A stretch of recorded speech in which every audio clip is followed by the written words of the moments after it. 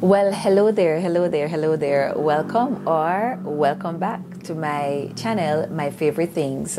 It's a review channel, guys, and so here I share with you, um, I provide feedback or I provide my own, um, my own experience with you on products or um, products or services that I've been a part of or my own experience.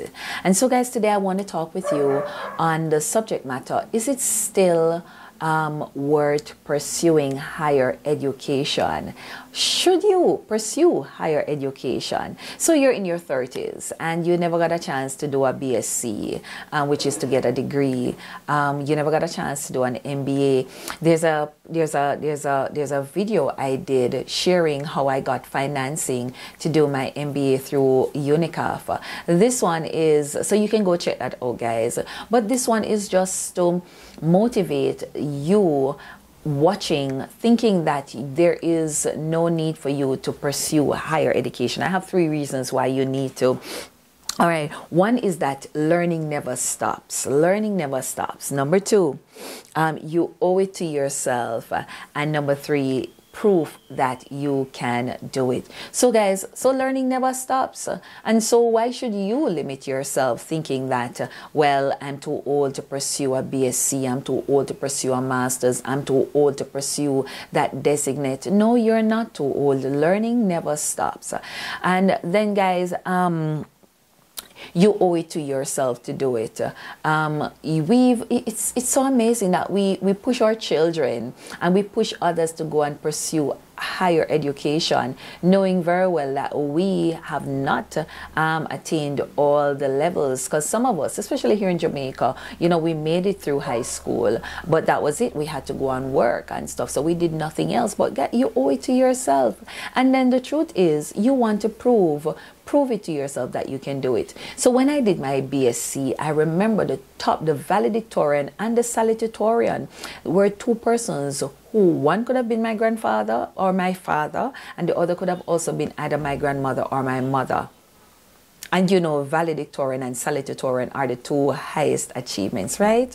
Yes, the old people want for a better word, they were the ones who got the highest grade.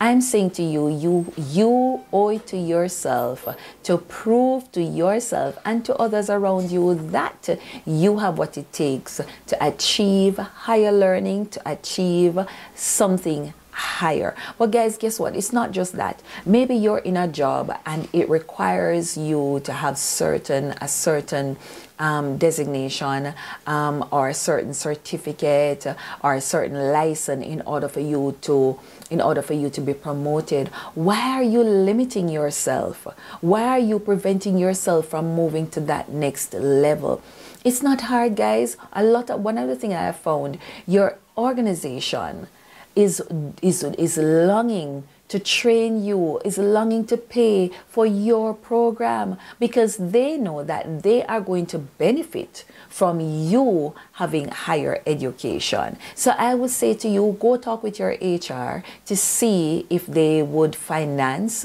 your program, whether they'll finance it for free or they'll finance it at a small um, cost to you. Guess what? Investing in yourself is worth it. So I, I'm saying to you, take that leap, pursue that higher education. It's not too late. 2022 is here. It's the year of possibilities, guys, and you have what it takes to pursue higher education.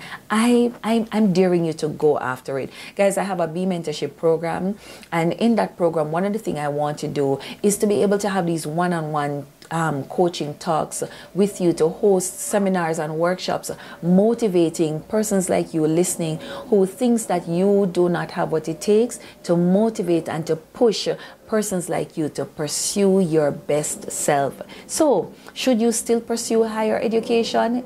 Yes, it's worth it.